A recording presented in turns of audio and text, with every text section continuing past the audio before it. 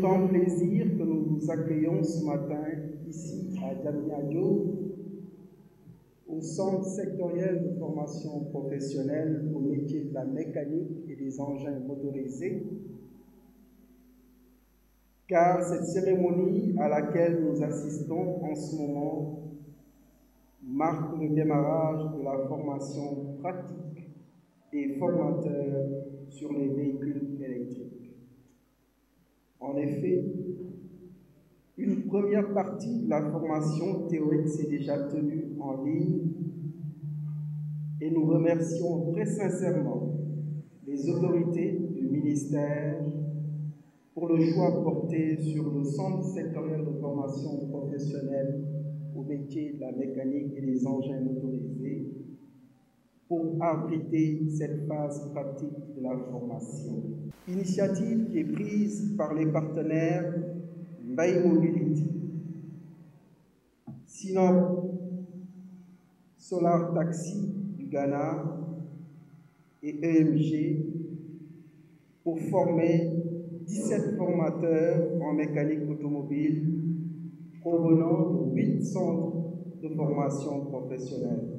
Cette formation aura certainement un impact positif sur la qualité des enseignements-apprentissages, seul gage d'une employabilité retrouvée chez les jeunes formés. Les métiers de l'automobile feront l'objet d'une grande transformation avec l'avènement du véhicule électrique. Il ne faudra pas attendre que ces changements tombent dessus. Il faudra anticiper pour répondre aux besoins des entreprises et faciliter ainsi l'insertion socio-professionnelle des jeunes. Je ne pourrais terminer sans remercier l'inspecteur d'académie de Rufisque, qui a toujours soutenu nos actions d'améliorer la qualité et la diversification de nos offres de formation. Je rappelle que cette formation euh, vient, après, donc, euh, la formation en ligne dont vous avez bénéficié à travers la plateforme IDANG et cela suite à la signature de la convention donc, du projet qui lie la direction de la formation professionnelle et technique du ministère et son partenaire SINOP, dont on a bénéficié du concours euh, grâce notamment à l'entretien de l'ambassade des Pays-Bas au, Sénégal. Nous démarrons avec 17 formateurs, mais comprenez que vous serez nos relais auprès des centres de formation professionnelle et des lycées techniques qui vont vous accueillir.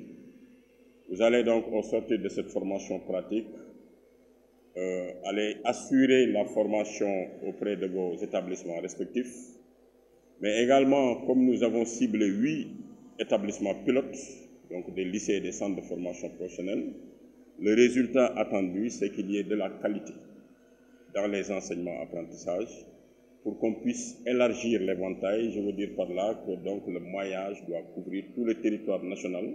En tout cas, c'est ce qui est escompté au bout donc, de ce partenariat-là.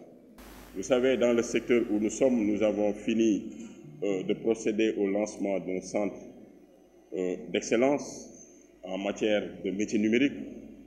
Vous avez dans le voisinage des spécialisations en BTP, en entrepreneuriat. Tout cela, c'est une façon de renforcer davantage le capital humain, qui est une préoccupation au cœur du euh, plan Sénégal émergent, puisque l'axe 2 est consacré effectivement au capital humain. À ce titre, donc, nous vous encourageons au nom de Madame la Ministre à bien tenir cette maison-là et à lui faire connaître les meilleurs résultats pour que cela puisse inspirer les autres directeurs, à la fois donc euh, de centres de formation professionnelle, mais également les proviseurs et responsables des lycées techniques dont regorge le département.